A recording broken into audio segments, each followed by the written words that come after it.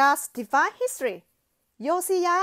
นี่คือโยซิยา เขาเป็นกษัตริย์ปกครองอิสราเอล ในตอนนั้นเขามีอายุเพียงแค่ 8 ปีเท่านั้น แม้ว่าเขาจะยังเป็นเด็ก แต่พระเจ้าก็ใช้เขาปกครองทั่วทั้งแผ่นดินอิสราเอลเลย บิดาของโยซิยา ชื่อกษัตริย์อาโมน เขาได้ทำสิ่งที่ชั่วร้ายในสายพระเนตรของพระเจ้า เหมือนกับมานาเซบิดาของเขา อาโมนได้สร้างแท่นสำหรับปรนิบัติรูปเคารพไปทั่วแผ่นดิน และนมัสการรูปเคารพ ซึ่งเป็นพระเทียมเท็จทั้งหมด ท่านกระทำสิ่งที่ชั่วร้ายมากมายในสายพระเนตรของพระยะโฮวา เหตุนี้ถึงยั่วยุให้พระเจ้าทรงพิโรธ ดังนั้นข้าราชการของอาโมนได้ร่วมกันคิดกบฏและประหารเขาทิ้งเสีย แล้วพลพ่ายชาวอิสราเอลได้ตั้งบุตรชายของเขาชื่อโยซิยา เป็นกษัตริย์ปกครองแทนอาโมน โยซิยาเป็นกษัตริย์ที่แตกต่างจากกษัตริย์องค์อื่น ๆ ที่ผ่านๆมา เพราะเขาไม่กราบไหว้รูปเคารพตามบรรพบุรุษ เขาตระหนักว่า รูปเคารพทั้งหลายนี้มาแทนที่พระเจ้า เป็นสิ่งที่พระเจ้าไม่ชอบพระทยัยเขาจึงได้ขจัดและทำลายรูปเคารพทุกอย่างทิ้งไป และหันกลับมาหาพระยะโฮวาด้วยสุดจิตสุดใจ และด้วยสุดกำลังตามบัญญัติทั้งสิ้นของโมเสสเขาได้ทำสิ่งที่ถูกต้องในสายพระเนตรของพระยะโฮวา ต่อมาในปีที่ 18 แห่งกษัตริย์โยซิยา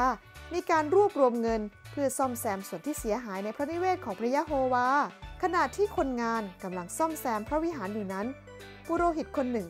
ก็ได้พบกับหนังสือกฎบัญญัติเล่มหนึ่งในพระวิหารของพระเจ้า ซึ่งเป็นหนังสือที่เต็มด้วยถ้อยคำของพระเจ้า เมื่อโยซิยา ได้ยินถ้อยคำในหนังสือเล่มนั้น ก็พบว่า ภายในหนังสือก็เต็มไปด้วยพระพิโรธของพระเจ้าที่มีต่อเขา และบรรพบุรุษของเขา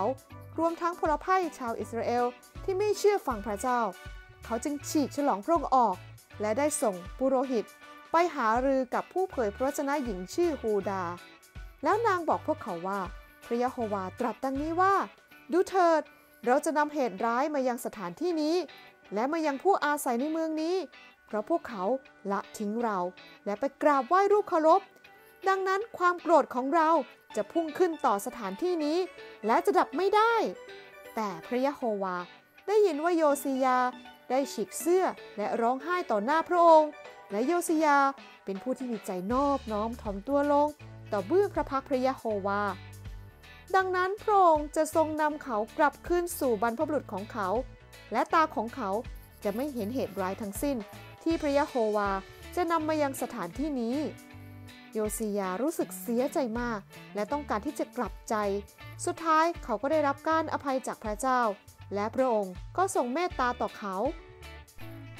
น้องๆ คะ ความเมตตาคืออะไร ความเมตตาคือการที่เราให้อภัยกับคนหนึ่ง แม้ว่าเขาไม่สมควรที่จะได้รับ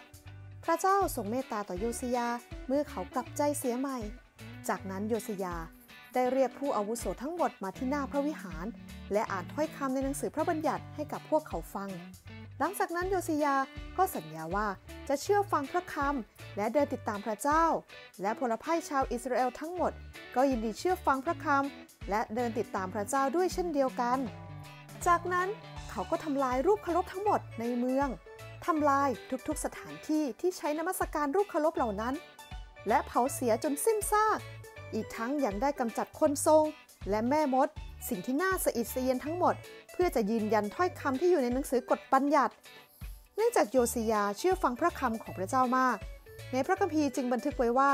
ก่อนที่โยซิยาจะเป็นกษัตริย์ ไม่มีกษัตริย์คนใดที่หันสู่พระเจ้าด้วยสุดใจ เหมือนกับโยซิยาเลย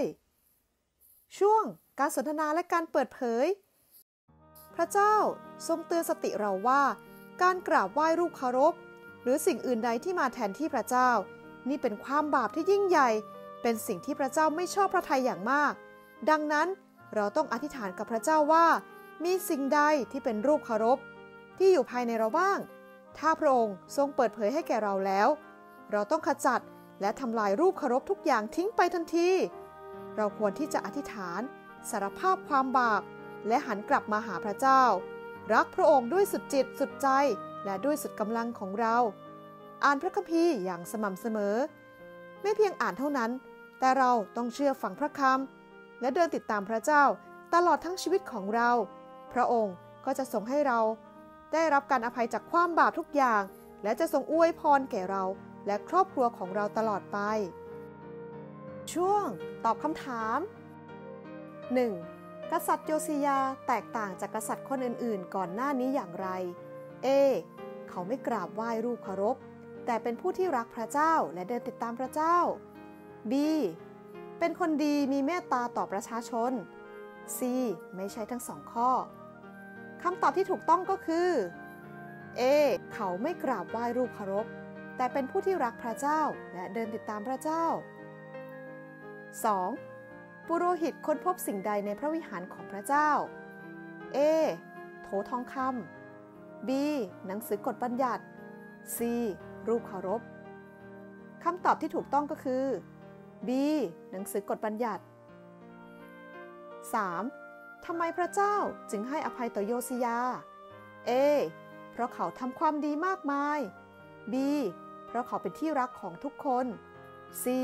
เพราะเขากลับใจเชื่อฟังพระคำและเดินติดตามพระเจ้าคำตอบที่ถูกต้องก็คือ เพราะเขากลับใจ